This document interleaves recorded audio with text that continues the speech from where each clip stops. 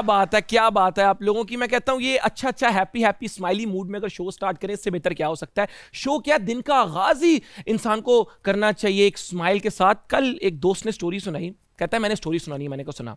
कहता है, यार, अगर मोमिन, तुझे कोई इंसान आके बोले, मैं तुझे वन मिलियन डॉलर्स दे रहा हूँ, यानी कि तकरीबन पाकिस्तानी तीस करोड़ रुपए तो तू उसको क्या कहेगा? मैंने कहा, मैं उसका शुक्रिया अदा करूँगा, मैं तो जब भी पाला करूँ, मैं तेरी मेहरबानी यार, तू कमाल बंदा जन्नत तो आया, किधरों आया लेकिन उसने कहा, अगर वो एक बीच में कैच हो उसके, मैंने कहा, क्या कैच अगर वो तुझे बोले कि ये तीस करोड़ तेरा है, लेकिन कल तू उठेगा नहीं तो क्या तू ये तीस करोड़ एक्सेप्ट करेगा? मैंने कहा, नहीं, आप लोग बताओ, आप करोगे? नहीं, सब कह रहे नहीं। तो कहता है कि मतलब तेरे सुबह उठने की वैल्यू तीस करोड़ से भी ज़्यादा है। तो फिर क्या हक पहुँचता है तुझे कि जब तू सुबह उठे तेरे चेहरे पे एक स्माइल ना हो?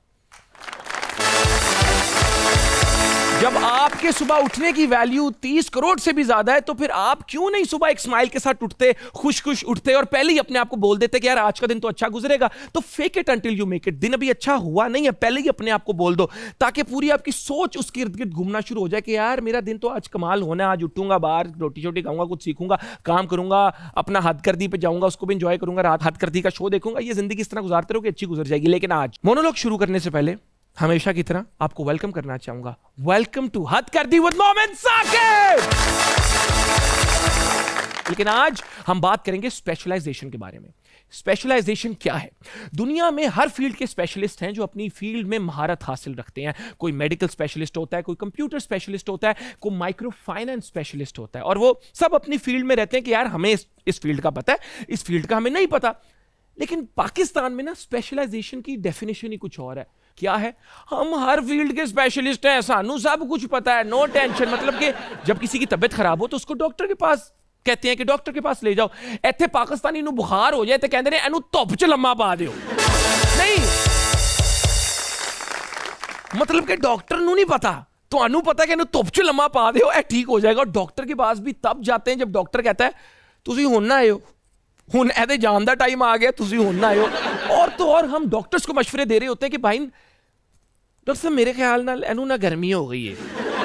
ਨਹੀਂ ਡਾਕਟਰ ਸਾਹਿਬ ਇਹਦਾ ਜਿਗਰ ਖਰਾਬ ਹੋ ਗਿਆ ਇਹਨੇ ਬਾਹਰੋਂ ਰੋਟੀ ਖਾਦੀ ਹੈ ਇਹ ਨਾ ਕੱਲ ਝੀਲੇ ਦੀ ਮੁਹੱਬਤ ਲੈ ਕੇ ਆਇਆ ਉਹ ਤੁਹਾਨੂੰ ਪਤਾ ਫਿਰ ਝੀਲੇ ਨਾਲ ਜਦੋਂ ਮੁਹੱਬਤ ਹੋ ਜਾਏ ਤੇ ਫਿਰ ਮੁਹੱਬਤ ਨੇ ਤਾਂ ਫਿਰ ਜਾਨ ਤੇ ਬੰਦੇ ਦੀ ਜਾਂਦੀ ਹੈ ਕਿ ਨਹੀਂ ਜਾਂਦੀ कि इस मुल्क में पॉलिटिक्स के सभी स्पेशलिस्ट हैं।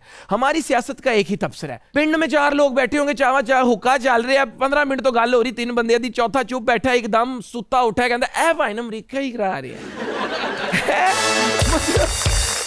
बड़ी बड़ी चीज़ें करा भी रहा होगा, लेकिन ये जो तबसरा मैं बचपन से सुन रहा हूँ, ये तो कमाल ही। और इस मुल्क में वो लोग भी अमेरिका के खिलाफ हैं, जिनके अपने बच्चे अमेरिका में पढ़े।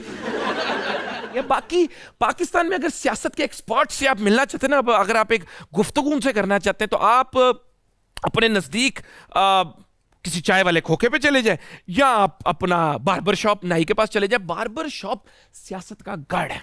ਮਤਲਬ ਇੰਨੀ ਸਪੀਡ ਨਾਲ ਸਿਆਸਤ ਦੀਆਂ ਗੱਲਾਂ ਕਰ ਰਹੇ ਹੁੰਦੇ ਨੇ ਕਿ ਮਤਲਬ ਸਿਆਸਤ ਦੇ ਵਿੱਚ ਆਪਣਾ ਗੱਲਾਂ ਹੋ ਰਹੀਆਂ ਨੇ ਸ਼ੇਰੋ ਸ਼ਾਇਰੀ ਹੋ ਰਹੀ ਹੈ, ਉਹ ਉਧਰੋਂ ਉਧਰੋਂ ਹੋ ਰਹੀ ਹੈ ਕਿ ਮੇਰੀ ਜਾਨ ਇਹ ਨੂਨ ਲੀਗ ਨੇ ਜਿਹੜਾ ਨਾ ਇਧਰੋਂ ਕੱਟ ਤੇ ਕਰ ਯਾਰ ਸਹੀ ਤਰ੍ਹਾਂ।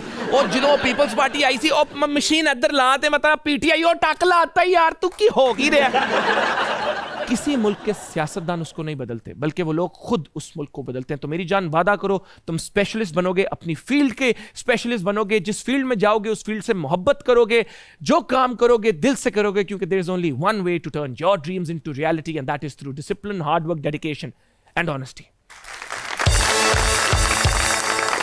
अक्सर आपकी ज़िंदगी में कुछ ऐसे लोग आते हैं जिनसे आप जब मुलाकात करें, उनके साथ कुछ वक्त गुजारें तो आप सिर्फ़ पॉजिटिव वाइब्स ही फील करते हैं और जब आप उनके साथ नहीं भी होते तो आपको उनकी याद आ जाए, तब भी आपके चेहरे पे एक स्माइल आती है।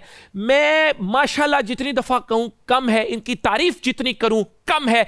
इनके साथ गुजारे वक्तों को जितना याद करूँ, कम है। मैंने इनके साथ कराची में वक्त गुजारा, लाहौर में भी वक्त गुजारा। एक बहुत ही अच्छी इंसान आपकी भरपूर तालियों में जोश के साथ, जज्बे के साथ, आपकी मोहब्बत के साथ। मैं चाहूँ तो ये इंट्रोडक्शन अगले पाँच छह घंटे कर सकता हूँ, लेकिन उनकी उनकी क्या मैं उनके वक्त की भी कदर करता हूँ? तो इतनी तालियाँ बजाएँ कि मैं भी कहूँ कि ये कर क्या रहे हैं। बुलाना चाहूँगा, Anushay Abbasi!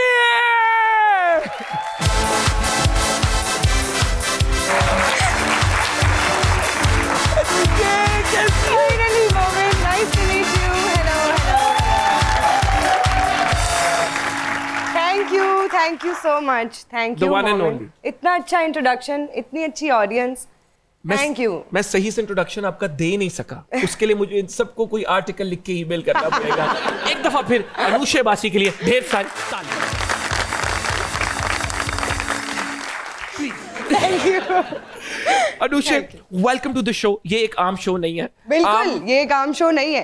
आ, आम तो कोई शो नहीं होता। सब डिफरेंट और यूनिक होते हैं और आम्बों का मौसम भी आने वाला है।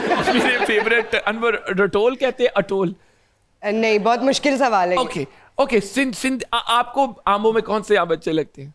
जिसको काट के खा सकते हैं। अरे कितनी बड़ी बात की है। मैंने आपको बताया इनके साथ अ, हर बात में एक मैसेज होगा और इनका जो एक इंटेलेक्चुअल जवाब होते हैं उनकी जितनी दाद दी जाए कम है। कुछ सवाल जवाब होंगे। हम आपके बारे में पूछेंगे आपकी ज़िंदगी के बारे में। हम जानना चाहते हैं ये ऑडियंस जानना चाहती है। और बस आपने हँसते रहना मुझसे वादा ये यही होगा मोमेंट आज के शो में आपको पता है कि ये नहीं हो सकता कि आप मुझसे सवाल करें और मैं जवाब दूँ और शो खत्म हो जाए। अब मैं सिर्फ़ हंसती रहूँगी आप आप दो बातें करना चाहूँगा शो स्टार्ट करने से पहले। आपने मुझसे ग्रीन रूम में पूछा शो क्यों कर रहे हो? मैंने आपको बताया कि शो करने की वजह अपनी आवाम को एंटरटेन करना बिल्कुल। लोगों को कुछ डिफरेंट प्रोवाइड करना कुछ सिखाना है। कुछ सिखाना और आप जैसे गेस्टों को इनवाइट करना। तो एक दफ़ा फिर अनुशे बाजी के लिए तालियाँ दूसरी बात अनुषे मैं बताता चलूँ कि हम इतना हंस क्यों रहे मेरी और अनुषे हमने साथ में एक ड्रामा किया, आप लोगों को पता होगा, रक्से बिस्मिल। और आप लोगों का भी जितना शुक्रिया अदा करूँ, आपने उसको इतना अप्रिशिएट किया अक्रॉस द ग्लोब तो हमारी एक बड़ी दोस्ती भी है। एक बात जो मैं अक्सर जब मैं लंदन मास्टर्स करने गया तो मैं कॉल करके जब भी अनुषा से बात होती थी तो वो मैं एक एक ज़िक्र आपसे हमेशा वन टू वन कॉल पर करता था लेकिन आज पब्लिकली भी। क्या हुआ अनुषा? आपकी ये हँसी are you sure sure about the fact कि मैं ड्रामा के बाद भी इनको कॉल कर करके थैंक यू कहता रहा कि कितनी सपोर्टिव को स्टार थी और इन्होंने मेरी एक्टिंग के अंदर भी कितनी वैल्यू ऐड की। तो आपके हाथों को सॉरी कहना चाहूँगा लेकिन आज मुझे एक दफ़ा फिर आपसे रिक्वेस्ट करनी होगी अनुषे के लिए तालियाँ।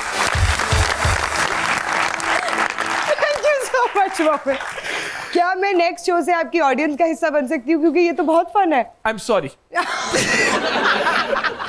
आप जितनी दफ़ा भी आएगी मेरे साथ गेस्ट ही होगी। और अगर अल्लाह ने चाहा तो हम आपको गेस्ट से को होस्ट बना दें थैंक यू सो मच ठीक है जी? और जो हमने प्ले किया था उसमें इन्होंने मेरी वाइफ का किरदार अदा किया।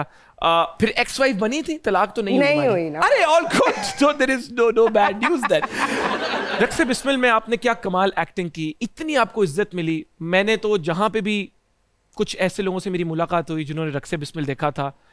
They appreciated you and your acting skills तो आउटकम तो बहुत अच्छा था अल्लाह ताला ने इज़्ज़त भी दी और भी फाइनेंशियली भी हेल्प हुई होगी। सफ़र कैसा रहा रक्से बिस्मिल का? बिल्कुल ऐसा जैसा इस शो का है। बिल्कुल ये- अच्छा नहीं था। ये- बहुत अच्छा था इसका मतलब अच्छा, था। अच्छा। क्योंकि ये तो वो 20 मिनट है या एक घंटा है कि जिसमें हम हंस रहे हैं।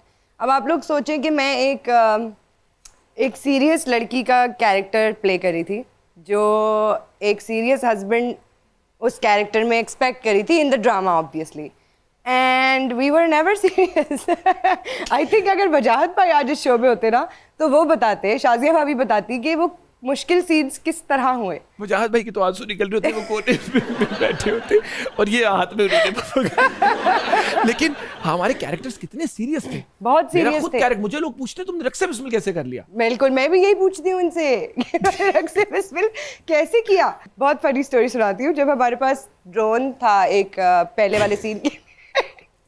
जिसमें मूसा और ईसा आ जाते हैं और मैं शादी करके भाग रही होती हूँ किसी से और वो मुझे पकड़ लेते हैं। तो हमारी शूट पे पास ही सीन में ड्रोन चल रहा था और मोमिन के हाथ में वो जो सीन में एक वेपन था वो था।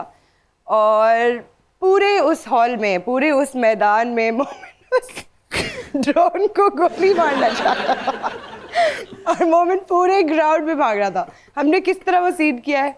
ये मैं जानता हूँ। और मैं जानती हूँ। इस शो में आपने बिल्कुल घबराना नहीं है वेपन शेपन नहीं से इट्स अ गन आप गन बोल सकती है।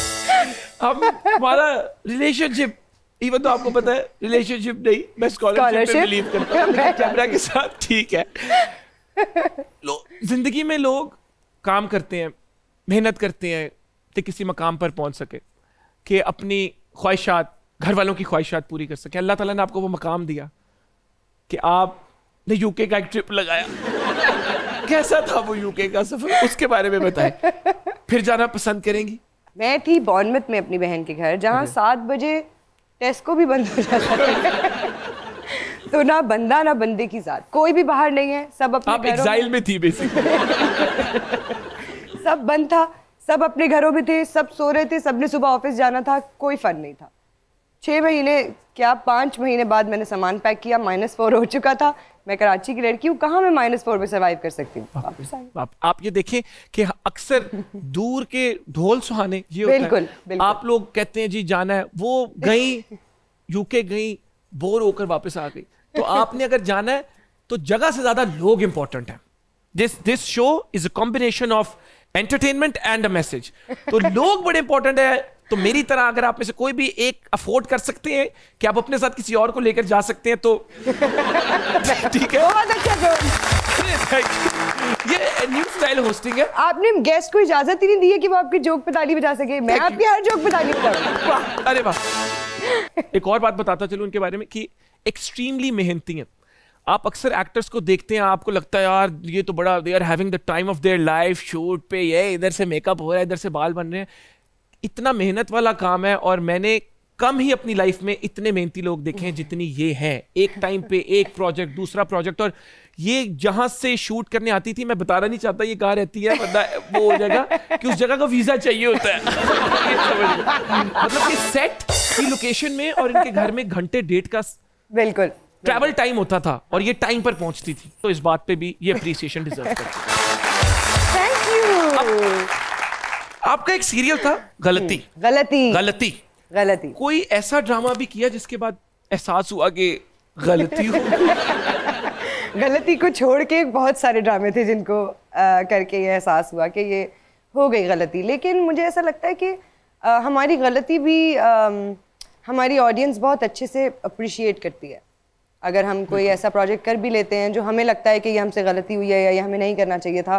आई फील लाइक अवाम फिर भी देख के उसको इतना हमें प्रेज करती है कि हम कहते हैं चलो एटलीस्ट हमें अप्रिसिएशन तो मिली। अरे क्या मज़ेदार गुफ्तगू चल रही है आप लोगों की फेवरेट अनुषे बासी के साथ। सवालों का सिलसिला आगे लेकर चलते हैं। एंड लुक एट हर माशाल्लाह लुकिंग सो ब्यूटीफुल हमने ये भी सुना कि बचपन में बड़ी मूवी नाइट्स होती थी। फ्रेंड्स एंड फैमिली के साथ आप लोग मूवीज़ देखते थे तो आपको किस किस्म की मूवीज़ पसंद है? Horror crazy comedy I think हर तरह की डिपेंडिंग ऑन सब क्या देखना चाह रहे हैं। मगर इंटरेस्ट uh, तो मुझे हर चीज़ में है। अगर हॉरर मूवी अच्छी शूट हुई हुई हो अच्छी बनी हुई हो या तो या हॉरर मूवी के दो अम, वो होते हैं साइड्स होते हैं। या तो आप हॉरर मूवी देख के बहुत हँसते हैं क्योंकि वो बिल्कुल भी हॉरर नहीं होती। या तो फिर आप पानी भी नहीं पीने जाते। तो बस मैं इधर ही ठीक हूँ। ना मुझे खाना चाहिए ना पानी वहाँ लाइट नहीं है मैंने नहीं जाना। तो जब आपको बहुत डर लगे तो क्या फिर आप करती हैं? आ, वैसे तो मुझे इस तरह डर इतना ज़्यादा नहीं लगता। लेकिन जब लगता है तो आयतल कुर्सी जिंदाबाद। आयतल कुर्सी जिंदाबाद। ऑडियंस हमारे साथ मुल्क की यूथ आजकल के नौजवान बैठे हैं। ये कुछ सवाल पूछना चाह रहे हैं तो इनकी तरफ़ चलते हैं। जी अस्सलाम वालेकुम ब्रदर क्या हाल है आपका? जी वालेकुम अस्सलाम। सर आप कैसे हैं? मैं पहले से बेहतर हूँ। तो बस दुआ करें। आप बताएँ आप ठीक है? जी अल्हम्दुलिल्लाह। क्या नाम है आपका? मेरा नाम मोहम्मद अरशद जोया है और मैं डेवो एक्सप्रेस बस सर्विस में जॉब करता हूँ। अरे क्या बात है तो लाहौर से इस्लामाबाद अगर जाना हो तो no problem no problem sir most welcome most welcome ठीक हो गया। सवाल क्या है आपका? जी मेरा अनुशे अबासी साहिबा से सवाल है कि आपने मेरे पास तुम में वो मैविश को पानी दम करके दिया था कि वो दानिश आए और वापस ना जा सके। अगर आप वैसा पानी दम करके मुझे दे दें ताकि मेरी शादी हो जाए। ये सुने शादी हो जाए। अच्छा तो अगर आपने रख अगर आपने मेरे पास तुम हो पूरा देखा था तो आपको याद ही होगा कि दानिश के साथ फिर पानी भी पर वो फूक के जो मैंने दे दिया था एंड क्या हुआ था? जी तो क्या आप हुआ था? मर जाता दानिश। आप सोच लें जब वो एपिसोड चली थी ना जब मैंने दम किया था तो सबने वो मांगा। लेकिन जब लास्ट एपिसोड चली ना तो जिस जिसने वो दम वाला पानी मांगा था उसने कहा थैंक यू वेरी मच हमें नहीं चाहिए। तो आप बॉल आपके कोर्ट ब्रदर पूरा ड्रामा देख लिया करने वरना इस चक्कर में किस दिन ये ना हो अगले शो में आप नज़र आए। पता चले दम वाला पानी पी लिया। डेमो वाले ढूंढ रहे हैं डेमो की बस निकली हुई है कगान नरान बंदा को आज किया कि, कि पर दम वाला पानी पिया था। तो शादी करना चाह रहे हैं? जी आप पानी दम करके दे दें। मैं मर जाऊँ कोई परवाह नहीं लेकिन दो होके मर जाइए तो फिर क्या ही मज़े ने।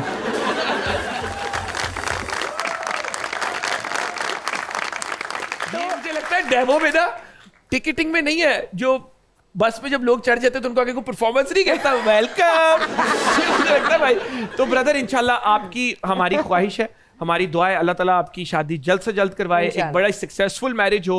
You so much, sir. Thank you so much और कोई सवाल पूछना चाहेगा?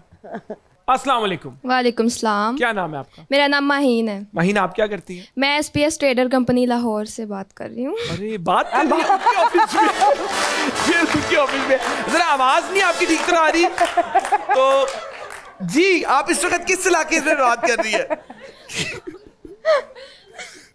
अच्छा चलिए बात करें आवाज़ क्लियर थी। अ, मेरा क्वेश्चन है अनुषी से कि आपने जब रक्से बिस्मिल ड्रामा जब किया था तो अवार्ड जब मोमिन को मिला तो आपकी क्या फीलिंग्स थी? दिल पे बड़ी चोट लगी। मैं लेने आई हूँ वो अवार्ड वापस आज। देखिए आप मेरी बात सुने। मुझे मिलने चाहिए कम से कम छह अवार्ड दो मोमिन के दो इमरान अशरफ के और दो महमूद असलम साहब के।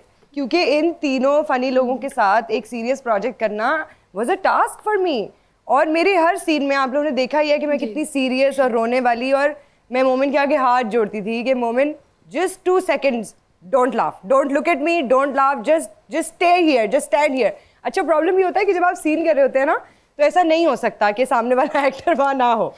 तो मोमिन को वहाँ खड़ा होना पड़ता था और मुझे मोमिन के माथे को या बाल को देख के डायलॉग बोलना पड़ता था क्योंकि अगर मैं इनकी आँखों में देख लूँ तो मैं सीन ही नहीं कर सकती। हो ही नहीं सकता।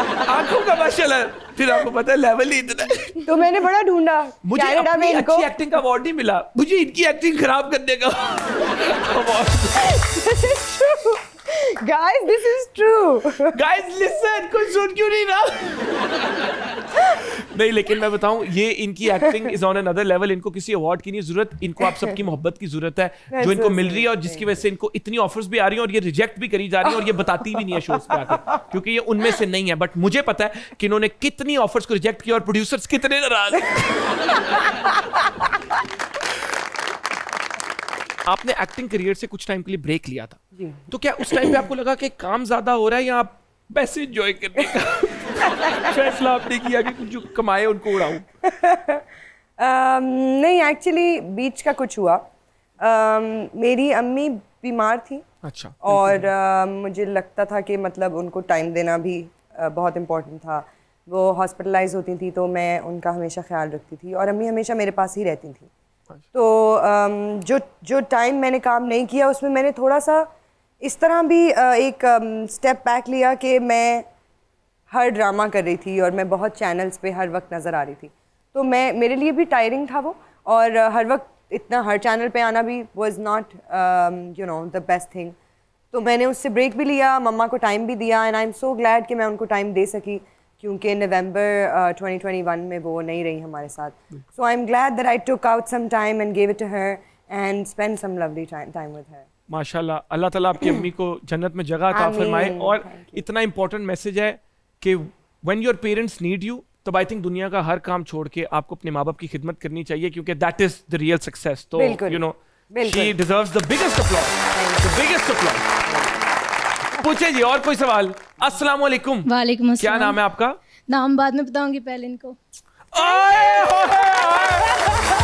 ये पकड़ लिया ये ये है सच्चा प्यार। इसको आप कहीं पहले रख लें।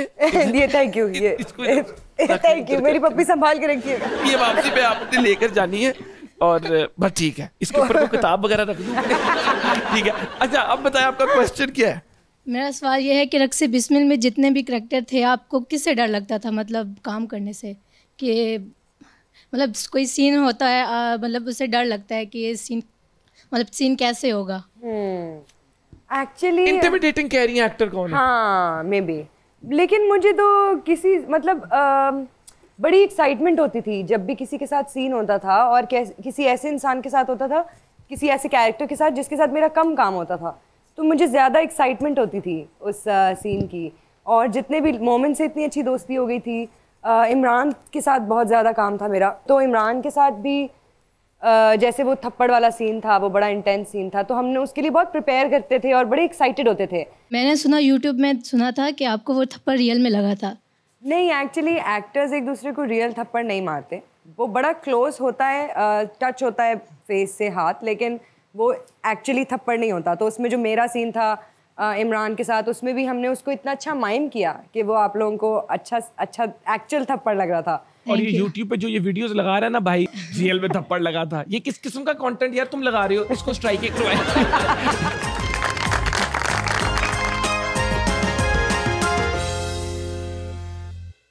वेलकम बैक वेलकम बैक ज़्यादा टाइम तो नहीं लगा। है? करें शुरू करें। कौन सी ऐसी चीज़ है जो आप चाहेंगी कि आप अपने बारे में चेंज करें? बहुत सारी चीज़ें चेंज करना कोई एक एक। ज़्यादा ना करें क्योंकि हम आप हमें आप अच्छी लगती हैं अच्छा ठीक है। अच्छा, मैं अपने बारे में अ, अपने गुस्से को शायद चेंज करना चाहती हूँ। मैं बिल्कुल गुस्सा नहीं करना चाहती लाइफ ठीक है। लेकिन आ जाता है तो अब क्या करें? जब आ जाता है तो फिर आ जाता है गुस्सा। आताबाजी सटकली। कोई बात नहीं। कोई ऐसी चीज़ जो आप चाहेंगी मैं अपने बारे में चेंज करूँ? आप अपने बारे में मैंने वक्त गुजारा आपके साथ काफ़ी नहीं नहीं नहीं महीने। नहीं नहीं नहीं, ये नहीं हो सकता मोमेंट आप अपने बारे में कुछ चेंज नहीं कर सकते। पक्का?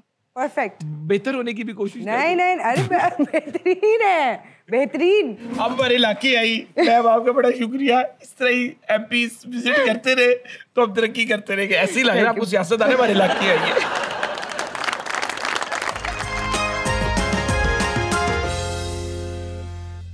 वेलकम बैक ब्रेक में भी इतनी अच्छी बातें शो में भी इतनी अच्छी बातें लेकिन बेहतर है कि आपके साथ ही हो। इसी तरह हँसते रहें खेलते रहें चलते हैं अपने अगले सेगमेंट की तरफ़ जिसका नाम है दोस्ती प्रोफ़ाइल आपके कुछ दोस्तों के नाम हम लेंगे और हम चाहेंगे कि आप उनकी दोस्ती प्रोफाइल्स कंप्लीट करें। ठीक है। लेट्स स्टार्ट ओके टन टन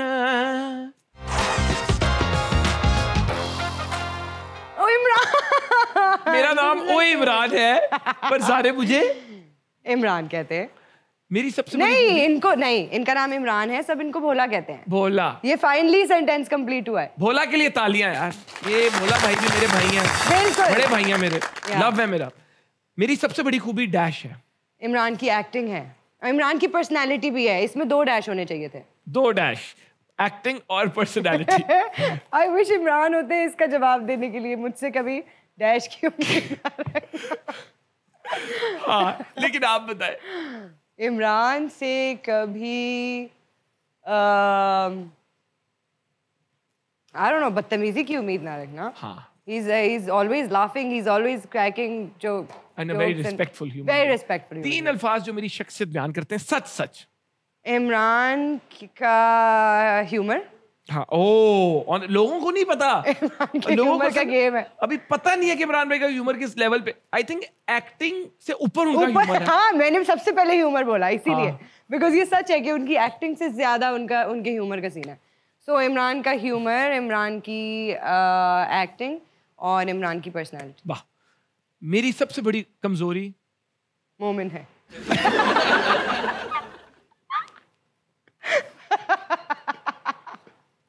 देखिए उन्होंने कोई प्रोजेक्ट आपके बगैर नहीं किया। मूवी आपके साथ रक्से बिस्मिल आपके साथ शो भी आपके साथ ठीक है? ये इमरान की सबसे बड़ी कमज़ोरी हाँ नेक्स्ट पे आए जी यार ओह my god this is my favourite बात करो यार। ये मेरी जो टीम है ना ये बड़े शरारती है। तुम लोगों का कुछ करना पड़ेगा। Naughty boy I like this naughty naughty team मेरा नाम मोमिन है। मोमिन है। पर सारे मुझे ईसा बुलाते हैं। ईसा बुलाते हैं। ये सच है ना? हाँ मेरी सबसे बड़ी खूबी? आपकी पर्सनालिटी है। आँसू आ रहे हैं कि नहीं? आ रहे हैं ना मुझे भी आ रहे हैं। मुझसे कभी आपसे कभी कैश क्यों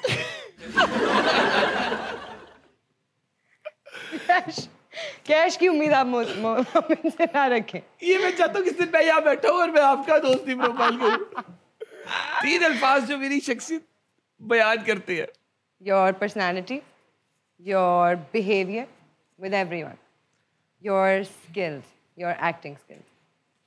मेरा ख्याल है कि मोमिन की आँखें बहुत नम हो रही हैं। अब से हम आपका होस्ट चेंज करते हैं। मैं हूँ आपकी नई होस्ट मेरा नाम है अनुषा बाकी आज हमारे साथ गेस्ट मौजूद है जिनका नाम है मोमिन साकिब मोमिन अपनी आँखें दिखाएँ आँसू वाली।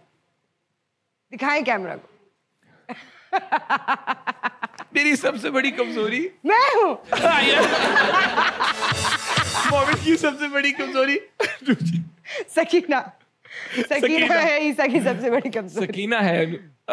अनुषे की मैं कहने लगा था नहीं ईसा की मैं घूम गया हूँ। देखिए ये एक्चुअली ये सच इसलिए है क्योंकि अभी भी अगर मैं अपने इंस्टाग्राम पे कोई भी पोस्ट लगाती हूँ तो उस पे लड़के और लड़कियाँ मुझे आपकी मूसा की और पीर कुदरतुल्ला की धमकी देते हैं। इसलिए मैंने कहा कि आपकी सबसे बड़ी कमज़ोरी मैं हूँ क्योंकि बस करो यार तुम लोग पागल पागल हो गए हो। तंग कर रहे हो बेचारी बच्ची को? ओके नेक्स्ट प्रोफ़ाइल चले जी। ओ माय गॉड ये मैं पूछूँगी आपसे। आज से मैं हूँ आपकी होस्ट आपकी नई होस्ट अनुषे अब्बासी। हमने आपके पुराने होस्ट को फायर कर दिया है। उन्हीं को अपना गेस्ट बना के आज बुला लिया है। हमारा सेगमेंट है दोस्ती प्रोफ़ाइल का जिसमें हम आपको एक गेस्ट की तस्वीर दिखाएँगे और आप फिल इन द ब्लैंक्स करेंगे। मैं, मैं बड़ा ready, सैड ये शो मेरा था। आपने मेरी रोजी पे शो लेकिन मेरा आपका एक चीज़ पे हम मुत्तफिक है। हम्म। तो बनता है। इसीलिए। मैंने आपका शो आपसे ले लिया है। आप हैं आज हमारे नए गेस्ट कैसा लग रहा है आपको मेरे शो में आके? करो मैं मैनेज कर रहा हूँ। लेकिन क्योंकि आप है दूसरी तरफ़ तो अच्छा हूँ। Thank you so much thank you हमारा नेक्स्ट सेगमेंट है दोस्ती प्रोफ़ाइल तो अ, मेरा नाम है डैश। आपको इसके फिर मेरा नाम अनुषे है पर मुझे- सारे मुझे अनुषे बुलाते हैं। अच्छा ठीक हाँ, है। ठीक है। मेरी सबसे बड़ी खूबी मैं अगर सच बोलूँ मेरी सबसे बड़ी खूबी मेरी फन लविंग पर्सनालिटी नहीं फन लविंग पर्सनालिटी है। She is always in the moment great person and one of the best actors I come across in my life मैं आपका शो है आई डोंट केयर मैं कोई एक वर्ड नहीं बोलूँगा जो मेरे दिल में आएगा मैं बोलूँगा। क्योंकि शो तो मेरा रहा नहीं है तो मैंने रूल्स भी फॉलो नहीं करते अच्छा जी। मुझसे कभी डैश क्यों मैं इधर उधार नहीं बोल सकता क्योंकि आपने हमेशा उधार दिया है। उधार का दिलासा दिया दिलासा दिया तो a Mohammed. good I'm a friend. good You're a friend. good friend. Okay, तीन अल्फाज जो मेरी शख्सियत बयान करें okay to be very honest क्योंकि मैं इस दुनिया में रहूँ ना रहूँ ये सेगमेंट चलता रहेगा और दुनिया को पता होना चाहिए नूशे कौन है एक्सट्रीमली हार्ड वर्किंग बहुत कंपैशन है इनके दिल में टुवर्ड्स इनकी फैमिली बाकी लोग, मैंने बड़े कम में से लोग देखे जो अगर दूसरे लोगों के साथ हों सेट पर हों, हर किसी को इज़्ज़त देना और ये सोचना कि मेरी किसी भी बात से या मेरे किसी भी एक्शन से कोई नेगेटिवली अफेक्ट ना हो। तो ये जो कंपैशन होता है ना आपका टुवर्ड्स बीइंग अ ह्यूमन जो इस दुनिया में नेगेटिविटी ना फैलाए, वो इनके अंदर मैंने देखा है।